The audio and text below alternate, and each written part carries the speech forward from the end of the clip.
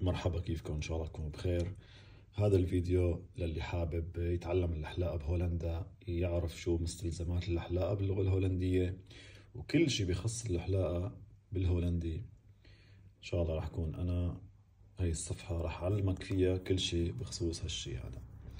لأنه دورت كتير مع الأسف على اليوتيوب وعلى التيك توك وكتير منصات ما لقيت أي شي بيحكي عن كيف أنا بعرف شو معنات هذا الشيء قدامي بالهولندي.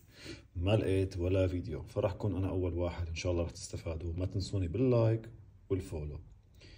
نبدأ أول شيء بالاساسيات بالمصلحة. الماكينة الكبيرة اللي هي بنعمل فيها الشعر وبنحلق فيها الشعر اسمها تندوزة. اسمها تندوزة.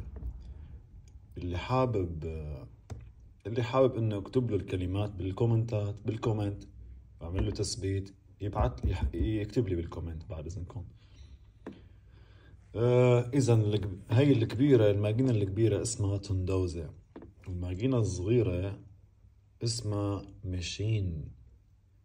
machine. المقص العادي اسمه schaar ومقص التفريغ اسمه أودونة. الموس اسمه مش. الموس اسمه مش. الملقط اسمه بنسيت. بنسيت الخيط اسمه تاو تاو. طبعا هدول الأرقام تبعت الماكينة الأرقام اللي هن ستانشة ستانشة ستانشة إن ستانشة دفي ستانشة دري ستانشة هالف إن واحد ونص.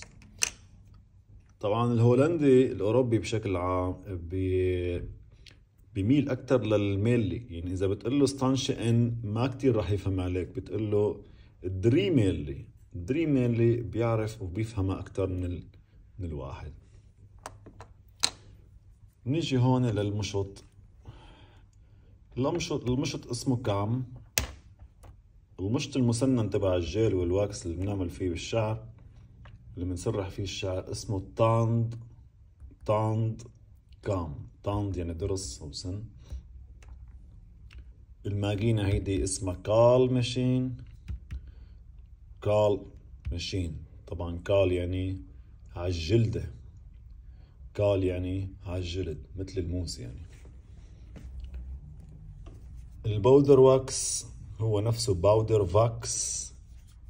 اسمه بالإنجليزي powder wax. طبعا هون بيقولوا فاكس للواكس لأنه حرف الدبليو بهولندا بيلفظ V فهو اسمه هذا wax. ال gel بيقولوا عنه جيل بفخموا حرف اللام جيل. وال aftershave نفسها aftershave. ال cologne هي parfum cologne cologne بالإنجليزي بارفوم إذا حابين أعمل لكم كمان فيديو تاني بالإنجليزي اكتبوا لي بالتعليقات. طبعا مثل ما حكينا كله هذه الأساسيات مبين قدامكم. بخاخة المي اسمها water water spray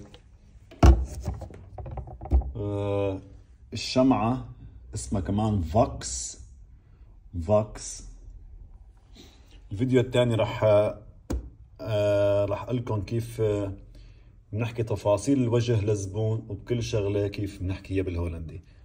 وتضلوا بخير إن شاء الله.